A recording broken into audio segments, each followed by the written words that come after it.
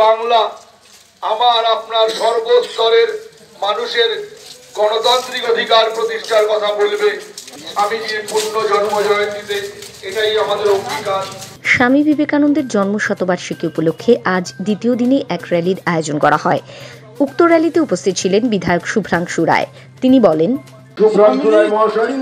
সকল ধর্মের মানুষের মধ্যে ছড়িয়ে দেওয়া এইটাই।